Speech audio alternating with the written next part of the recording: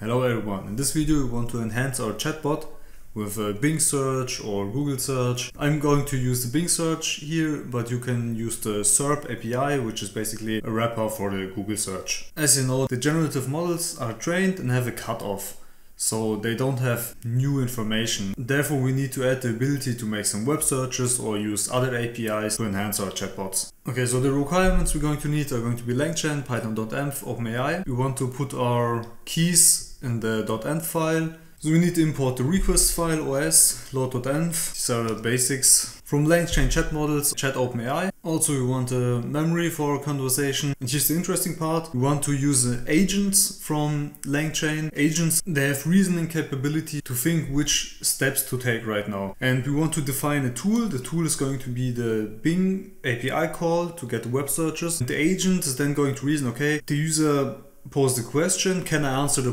question by myself if yes then okay i'm just going to answer it if not then it's going to use the tool get the web searches and answer it with the web searches as context it's very powerful. Okay, load_dotenv. Okay, let's uh, look at the documentation of the search API. We want to call this endpoint and the response object is going to have web page and there will be a snippet for each site. We don't get the full web page. For that you would have to define another tool to crawl the web page or something. But the snippet will be sufficient here so we'll just use it this way. And instead of coding it ourselves, let's just go to ChatGPT like it's done today. Let's tell him, I already did it, but let's tell him we want to request this endpoint. We need this in the header for the subscription key and Q will be the query the user inputs. And here is going to be our output. Let's just copy it and we want to define it as a function. We also want to join the snippets as a text file separate by a new line.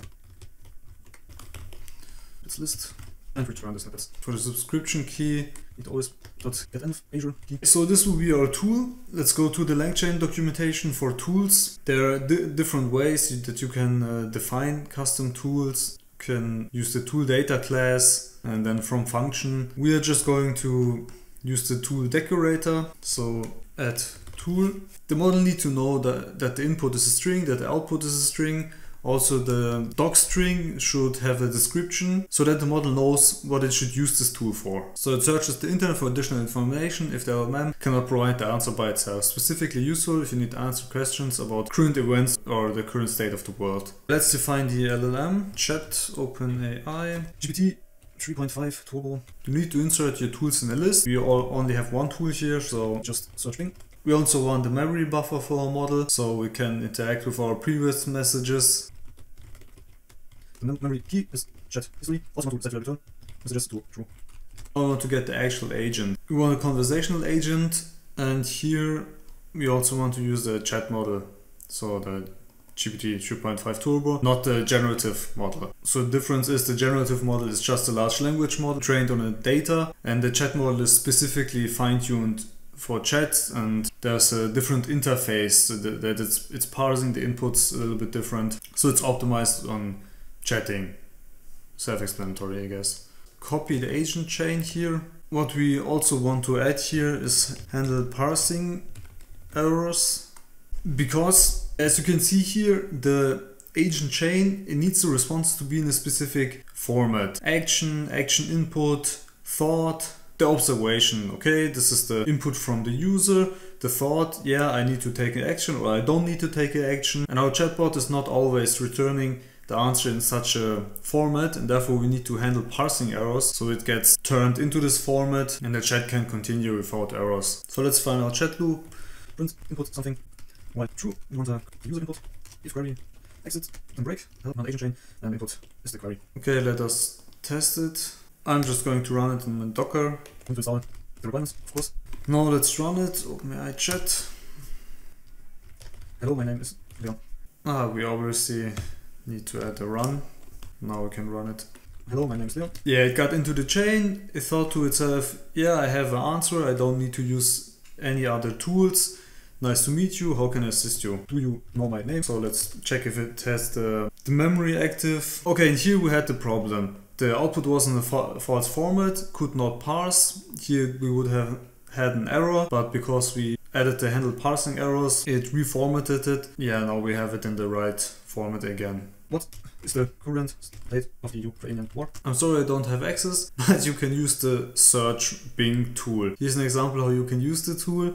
And it provide the action, search Bing, the input, current state of the Ukrainian war. Then it send it to the tool. Here's the, the res snippet results. Now it's taken this context as input and conjuring up answer. Amazing. This obviously with the OpenAI API, which is costing you a little bit. For Hugging Face, you would need a model which is a little bit sophisticated. Here locally on my machine, I can only use some models. I can use an 8-bit mode, some only in 4-bit mode. So uh, the reasoning is not sufficient to be used here. So I would have to use Google Colab or some cloud provider. If you want to see this whole thing done in Hugging Face, just let me know it in the comments. I gave ChatGPT the code and said, let's write a simple web interface. And after that, I told him to make it look more like ChatGPT itself with a grayish tone and the history of chats. It wrote it in Flask, it's pretty simple. That's how it looks. Let's try it out. Is Google Bard better than ChatGPT?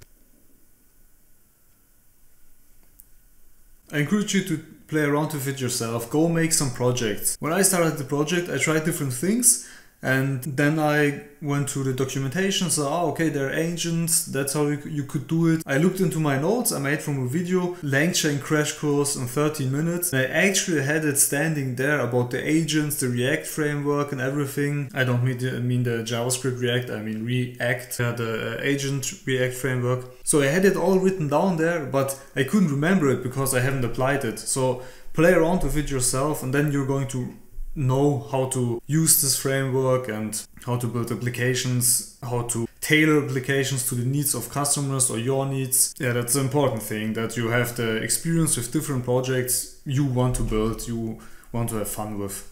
If this video helped you, leave a like, subscribe, and I have fun exploring these things, so if there's something else you'd like me to do, just let me know it, and I hope I can help you on the way.